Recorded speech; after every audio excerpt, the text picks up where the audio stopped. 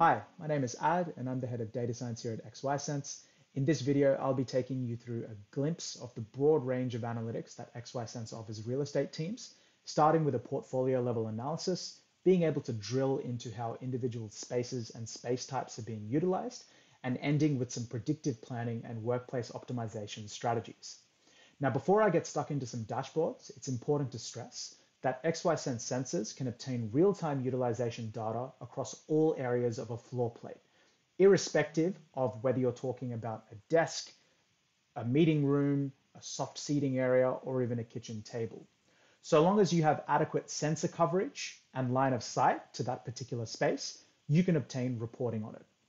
Now, with that in mind, let's jump into the first example of a dashboard, which is what a global deployment might look like and this is the global portfolio dashboard. So when you have real estate all over the world, the metrics that matter most are your portfolio utilization, the cost of your unutilized space, and being able to break up your utilization by your different space types. So in this case, work points versus collaboration spaces. So almost like a real-time barometer as to how hybrid your workplace is. It's important to not only have those utilization metrics, but break those down by region of the world, country, and also track them over time against a set of user-defined targets. Now, on a national level, you're looking at very similar metrics and functionality, but really what you're concerned with here is analyzing the performance of each individual location, and that is a floor and a location of that specific country. So in this case, it might be level two of the Melbourne office. And really what we want to do here is for the purpose of lease management, compare and contrast which are the better performing floors in my real estate portfolio versus which are the weaker performing floors. So which are the ones which are less occupied than others. Next, we jump into the specific space types and spaces that are within those floors. So we start off with work points. And really, when we're talking about work point analytics, it's what is my work point utilization? How long are work points being used, what is the peak number of work points being used on any given day. So this is incredibly important to analyze um, details for capacity planning. So am I ever reaching the peak number of desks that I have within my office? And if so, do I need to consider adding more desks? Also breaking up utilization by different teams or neighborhoods. So if I jump back to the floor plan mapping, you can see that we can actually assign a virtual geofence around a group of desks or even a group of spaces and give that um, or assign that to a specific team or neighborhood. And that allows me to contrast the utilization of IT versus marketing, for example. Also getting a floor plan view and a heat map view of which are the hotter and cooler areas of my office.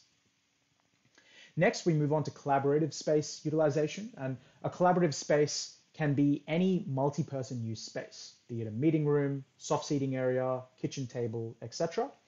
And what we're really concerned with is utilization, overall usage, but also how many people are using that space and how long are they spending within that space? And is that space full? Now, it's important to note that when we're analyzing these metrics, the foundation of what meeting uh, what a meeting looks like within that space is the real-time utilization data that is being captured by our sensors. So this is the example of what headcount might look like across a given day in a space. And you can see that by aggregating this data over time, we can really come to understand how many people are utilizing a space, at what time they're utilizing that space, and whether that space is ever at capacity. Next, we move on to the popular spaces dashboard. And this is a really useful dashboard to analyze what are the busiest and quietest space types within my office, as well as which space types are trending up or down.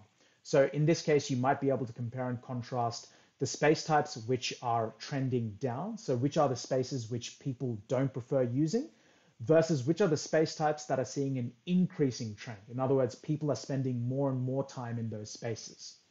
And once again, being able to break up when those spaces are at their peak utilization, whether it be day of the week or hour of the day. So we now come to some of our more predictive dashboards, and this is an example of predictive utilization. So in this case, we're really analyzing our portfolio level utilization or for a particular building or floor.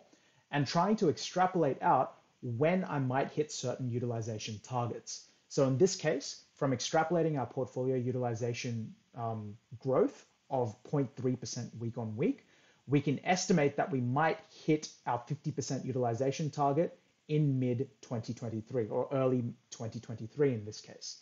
And we can obviously compare and contrast how different floors and different buildings and when they're reaching their targets.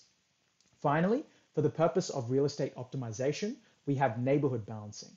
So being able to recommend an optimal number of desks per team or per neighborhood, or another way of looking at that is how many extra people can you fit within that neighborhood without needing to give them more desks. And that's a very useful statistic because when you aggregate this up beyond just for an individual team, but across a floor or multiple floors, you arrive at how many extra people you can fit within an existing building without having to search for extra space, which is an incredibly powerful insight.